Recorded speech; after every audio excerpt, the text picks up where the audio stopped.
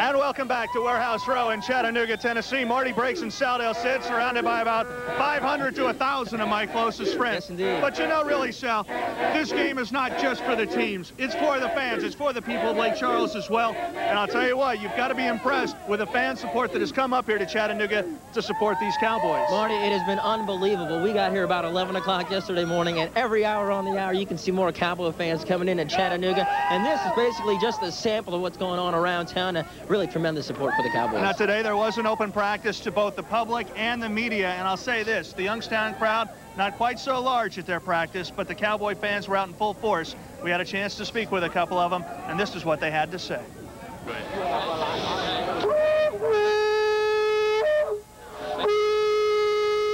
Man, look, this is the Cowboys we're talking about here. I mean, this is this is no Mickey Mouse team. They come to, you know what, and they're gonna do it. I know you're one of the die diehards, uh, so tell me what what this means to you. you know. This, this means everything. This is this is Christmas right here. You're looking at history in the making. Composure that they showed last week, come back with three minutes left and and pulling the game out, uh, playing against Montana like they did and Western Illinois. I think the guys are focused. Uh, I think they've got their act together, and I'm looking for a real good game, and I think we're going to take it.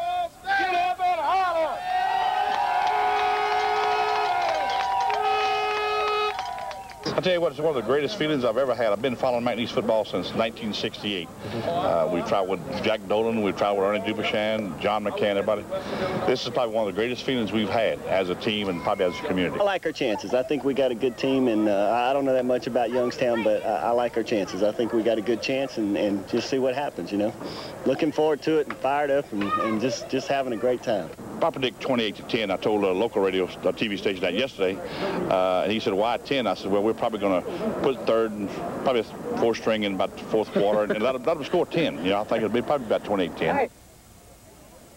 So I don't think it's any uh, small thing to say that the Cowboys will be well represented at tomorrow's contest. Some estimates have about seven or 8,000 folks coming up from Lake Charles to watch this ball game.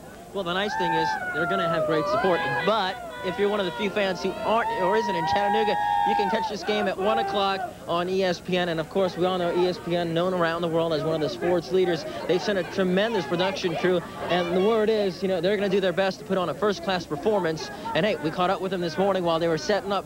Here's a look at what goes on behind the scenes.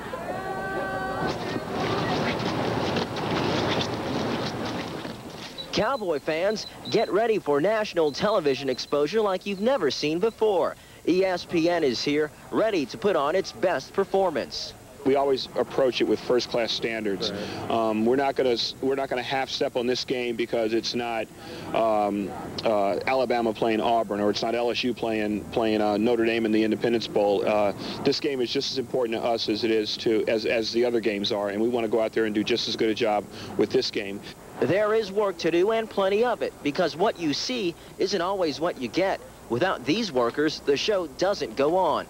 When people watch the game on TV and they see three announcers, they see three of 75 people that actually do the game. It's um, it's the producer, it's the director, it's the cameraman, it's the audio guys, it's the tape guys, it's the utilities. It's uh, it's a whole lot of people that make the show happen. In the control room, last-minute preparations are underway. To give McNeese and everyone else the best broadcast possible, the production crew must be ready. But you set up the day before. There's just so much you have to do. There's so many logistical things. You have so many more players. You got to do, you know, flashbacks on players, and you got to build headshots. There's just so much more to do, and it's real difficult um, to set up and do the game, a football game, in the same day.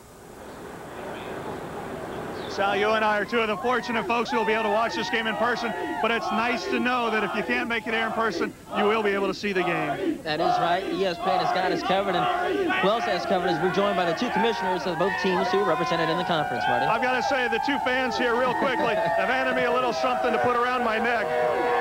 Okay, I don't know what that says exactly, but I think it has something to do with the game tomorrow. As you mentioned, we are joined by the two commissioners of the participating teams of the conferences they are joined with. Greg Sankey of the Southland Football League is here with us. This is Patty Viverito of the Gateway Conference. And Patty, I guess this is a, a big event for you because Youngstown State joined your league just this year. Already they're playing for a national title. I know, but when Greg invited me here tonight, I didn't know I was being invited to a lynching. Yes, it's a lot of support. Yeah. I'll tell you what, the Gateway Football League, certainly a lot of good football played there, isn't there? We have all the respect in the world for our opponents this weekend. We know that the Southland Conference, particularly McNeese, has had our number this year. We're just hoping that the luck changes tomorrow. All right. Greg? Well, well Greg, uh, unlike your counterpart, you are not at a lynching right now. You must be tremendous. You must be so happy and enthusiastic to see the response you're getting here in Chattanooga, not just for McNeese, but for the Southland Conference. Now, this is a new site, and it was important for us this year to have a great showing for all of 1AA football, and I can't think of a better team to represent the Southland Football League in the NCAA 1AA football championship than McNeese State University. Now, I, I know you've been following the Cowboys throughout the playoffs. You were yes. at the home game against Montana. I saw you at Western Illinois, and I know Marty saw you at Delaware. That's important to you, isn't it? Oh, very important. I'll say this for the fans in Lake Charles. Last November, after the season was over, we picked our teams who we thought would win it next year, and I picked McNeese. So I was on the train a long time ago, but uh, attending those games is important. Uh, McNeese is an important part of the Southland Football League, and it's a pleasure for me. This is a great part of the job to be here tonight and tomorrow. It is a terrific it is a terrific atmosphere that we're in right now, and and Marty, uh, truthfully, I think having both commissioners here says a lot for what's going on here at this championship site. Oh yeah, I mean this is all in the spirit of sportsmanship, but I don't know. Patty might not be so popular. She's freed the Penguins. Patty. I figured we should fight fair. That's true, and we will fight fair tomorrow on the field. Tell me about how Youngstown State came to be a member of the Gateway. I know they flirted with Division One membership going to the Mid-American Conference. How was it that you landed them in your league this year? There's no doubt that we have always coveted Youngstown State as a member. I mean, who wouldn't? They're three-time national championships. They're a great 1AA power.